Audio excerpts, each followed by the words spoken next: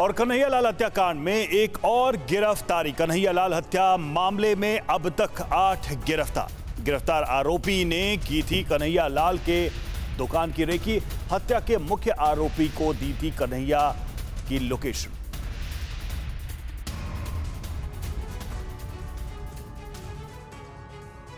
पहले की कन्हैया लाल की दुकान की रेकी, फिर हथियारों तक पहुँचाया कन्हैया का लोकेशन। लंबे डिस्कशन के बाद बना हत्या का फुल प्रूफ प्लान कन्हैयालाल हत्याकांड का एक और आरोपी हुआ गिरफ़्तार. देश को हिलाकर रख देने वाले कन्हैयालाल हत्याकांड मामले में एनआईए ने एक और आरोपी को गिरफ़्तार किया है. गिरफ़्तार किए गए आरोपी का नाम जावेद मंसूरी है. इस तरह कन्हैयालाल हत्याकांड मामले में अब तक आठ गिरफ्तारी हो चुकी है. बताया जा रहा है कि गिरफ़्तार किए गए आरोपी जावेद ने न सिर्फ़ हत्याकांड के मुख्य आरोपी रियाज के साथ कन्हैयालाल को मारने का प्लान बनाया, बल्कि जावेद मंसूरी ने ही रेकी कर हत्यारे रियाज और गौस मोहम्मद तक कन्हैयालाल की दुकान में होने की जानकारी पहुंचाई थी।